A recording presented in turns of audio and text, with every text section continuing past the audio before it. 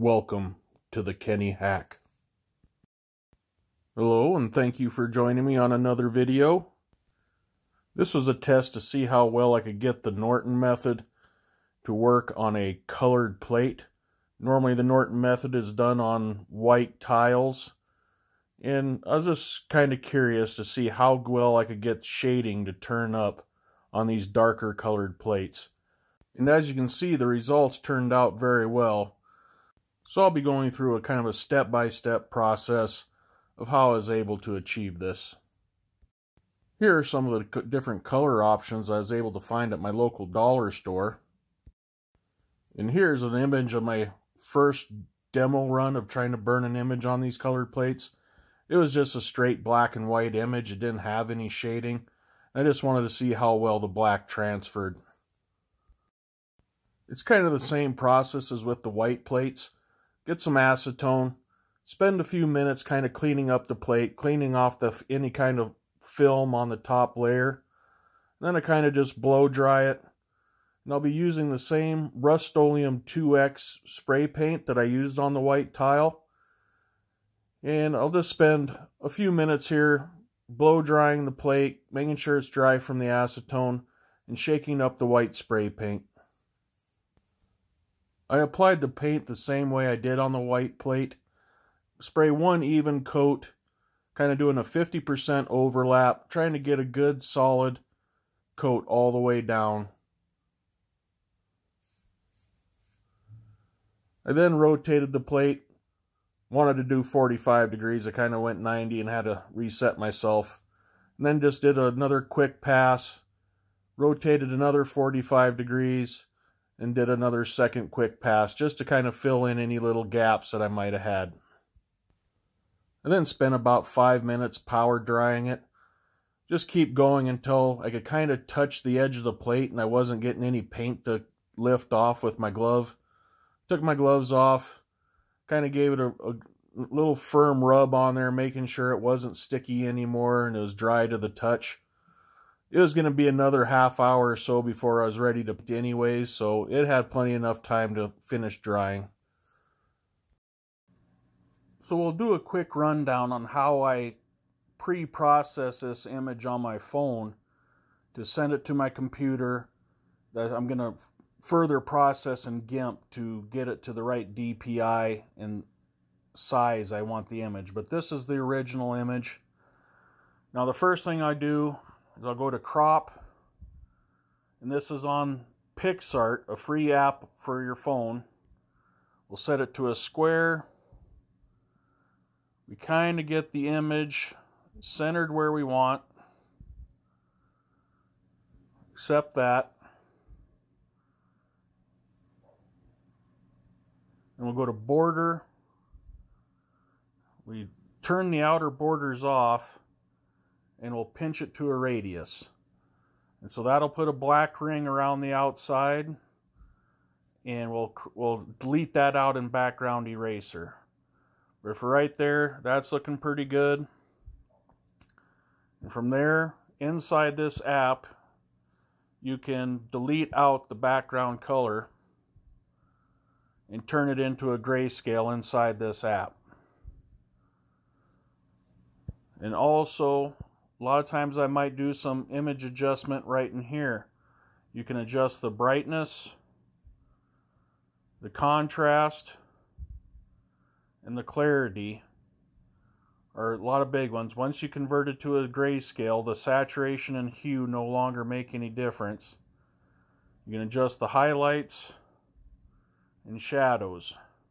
And I kind of play around with all of them until I think I got the image looking good. So from there, so let's go to brightness, take it up a little bit, contrast, we'll take it down a little bit, clarity, we'll bring that up, highlights, don't change much there, shadows, bump that, take that down a little more. So now we got a pretty good scale of some medium tones to darker tones. Since we're burning this on a colored plate, it's not going to show up as well as it does on a colored plate. So you're going to want to push the, all the, the colors a little bit darker so it shows up. So let's move them down. Move them down. Make it a little bit darker than maybe normally would for a white plate. And we'll go ahead and save that. Now we'll go into background eraser. Load a photo and we loaded that photo in. We're done. go to the auto selection and it'll delete out them background dog ears on there. Like I said, we're going to want to delete out all of this kind of light gray color around the outside just so the laser isn't trying to burn anything in there. That's just making the burn time take longer and doesn't, it'd be so faint you'd never see it. And then like I said, just so I know it keeps the right size dimension, I'm going to leave in a couple pixels here at the very top just so it keeps the total height the same. And this is already set to a square so I know it's not going to change. So now I'm going to make sure I get this little bit of outer ring deleted off.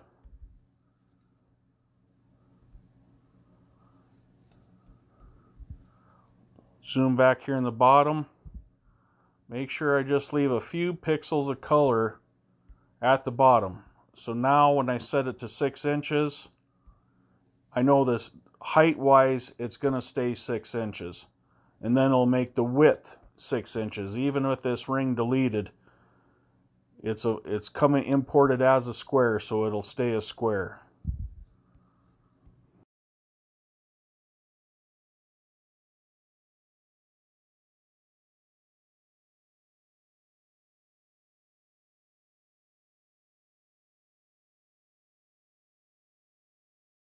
So there we go.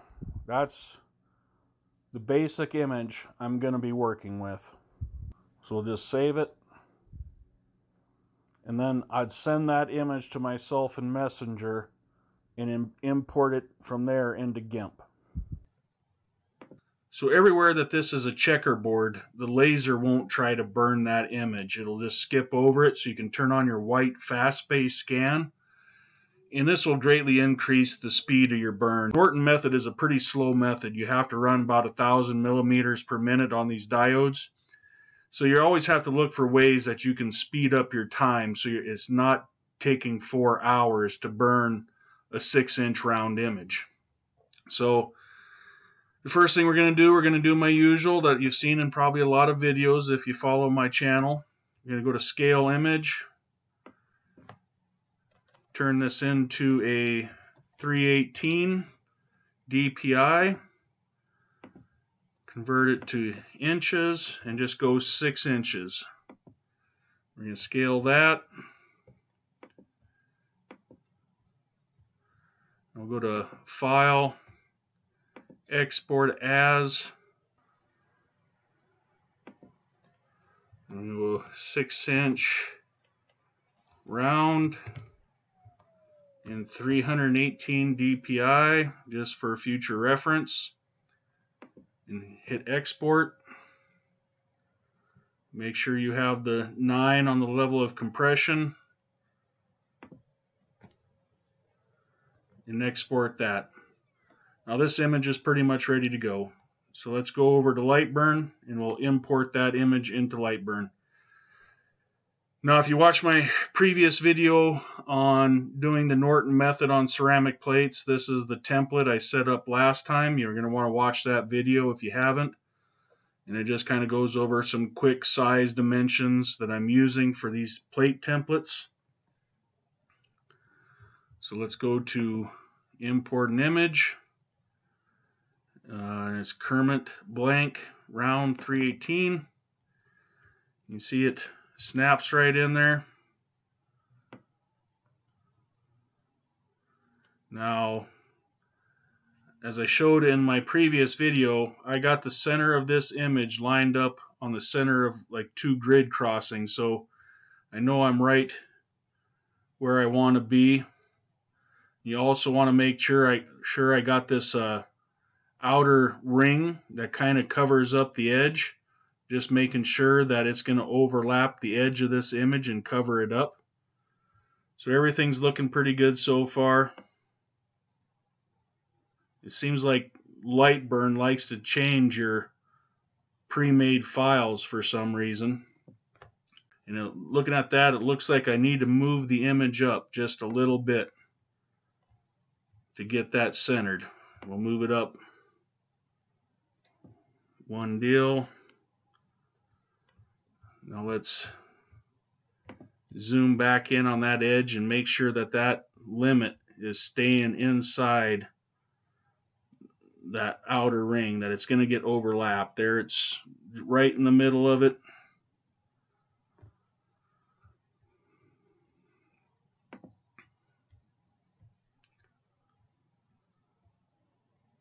And there it's right in the middle. So it looks like my outer ring is going to overlap them pixels for the most part.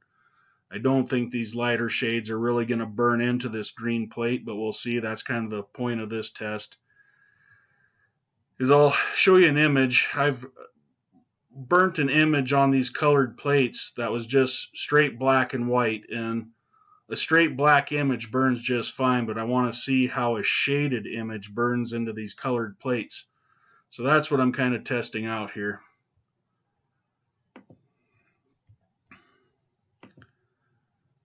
So I used, turned on this outer ring here to line up my laser and I'll clip in a little video of, you know, just showing that when I trace out that using the shift frame key here, it'll trace out that outer ring and make sure my plate is perfectly centered. With these 15 watt models, it's recommended that the focus height be 50 to 55 millimeters from the frame. I got mine focused in right around 49 millimeters.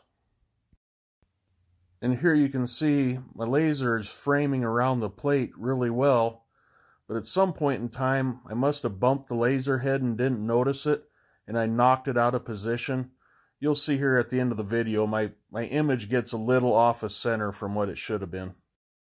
So once I know I got it centered, I can turn off that outer ring. I don't want that on. And I want to turn on this green ring, but right now it's set to burn that first. I want to burn it after I burn the image. So I'll highlight the image and move it up in front of the green ring and make sure that's on offset fill.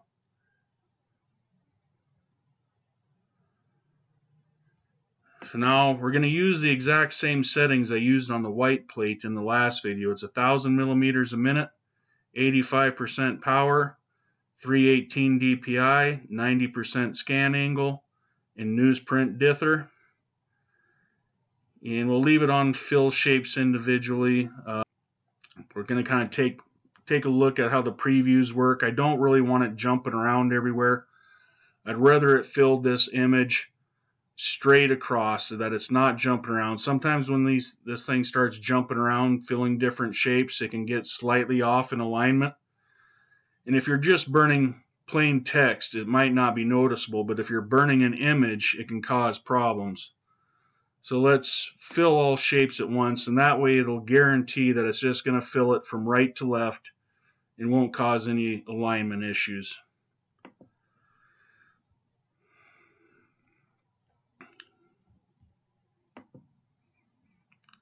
So as you can see in here, all this white area, it's skipping, and the laser's not going to run all the way out to the edge of the ring. It's only going to try filling the image. So hopefully, and right now this is taking two hours if I was doing a full six inch ring and it was trying to fill the whole image, it would take almost four hours, judging by my last plates I did. And now you almost cut the time in half by deleting out that background. So it's a big time saver. And let's go check, make sure we got our fast white space scan on.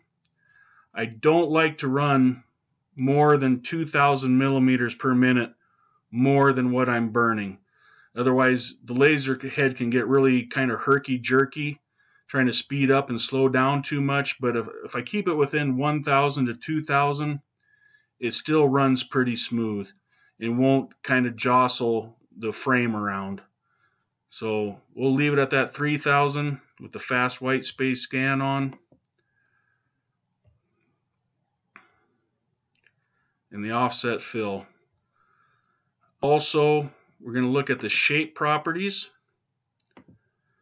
Now normally I'd call this image pretty good. I think it has pretty decent shading if it was on a white plate. But we're burning this onto a green plate and that green is going to hide a lot of the more subtle shadings. So we're going to try darkening up the image just a little bit, get it to burn in a little deeper. So let's up the gamma to like about a 1.35 is like kind of a standard setting that I like to use when I'm kind of trying something new.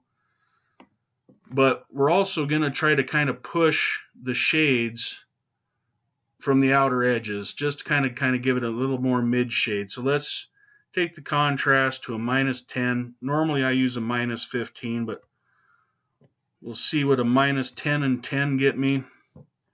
Kind of evens it out. And let's put in a little enhancements. Just 50 across the board kind of is a decent starting point. And that kind of makes the blacks, these black edges, pop a little brighter. It should sharpen up the image. So I'm going to call that good right there. Everything's kind of coming in okay. So now it's just time to run the burn and we'll see how it does.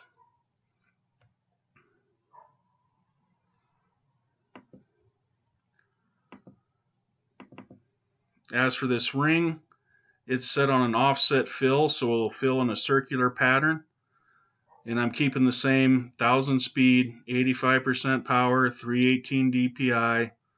Lightburn likes to shift that to 317.5 just because it's a switching per inch to millimeters. It's slightly different and it kind of automatically changes that. So other than that, this one's pretty much ready to go. We'll catch up at once the burn's over and we get the plate cleaned off and we'll see how this image turned out. So here we got the image right after getting done burning. I'm not sure. I must have bumped the head during filming uh, some portion and forgot to re-zero the head. And so my image got a little bit off center. I'll have to figure out how I did that. But as you can see, the image turned out really well and I'll go ahead and go get it cleaned off. I'll clean it off with acetone just like how I pre-cleaned it. Just get a bunch of paper towels, keep putting some acetone on there, wiping it off until you're no longer picking up any white paint or any black residue left behind, and then give the plate a good washing with soap and water, and it should be good to go. I also forgot to do my little double the DPI and GIMP trick that I did in the last one where I should have set the DPI to 636 and then cut it in half and Lightburn to 318. So you can see it got a little bit more dot matrix to it. Probably if I if I'd have done that double DPI, I think the dot matrix would have been a little bit finer. But it seems like after you clean these things off, it's kind of smooths out the image a little bit. We'll, we'll take a close in look once it's cleaned off. Here we got the final image. I think it all turned out very well. All the shading seemed to transfer very well. I didn't seem to have any areas that completely disappeared anyway. And I also need to make note that I was using my 15 watt Ortur. There's my 20 watt. Now, I tried the Norton method back when I first got my 20 watt, and I never had much luck with it. I just never could get the paint to fuse into the tile very well. Uh, half of it would just clear clean off with the acetone. But since getting my 15 watt, the Norton method has been very easy to do. I don't have any problems getting it focused and just burning it in. Now, I don't know how the new fixed focus models are. If the new fixed 20 watt models, and if you have a NEJE 30 watt or 40 watt, if those ones can do the Norton method okay, it seems like the smaller diodes actually do the Norton method better than the larger diodes. Like if you have the 15 watt model, the 7 watt model, and those are input powers, not the actual power of the laser head. They're actually only like 2 to 4 watts of power for the actual laser themselves. But anyways, I'd say it's a successful test. I don't really think there'd be any problem on any of the colored plates of getting the shading to transfer and doing images on colored plates. So I hope you found the hope you found this tutorial helpful. Please like, subscribe, share, comment below, and we'll see you on the next video.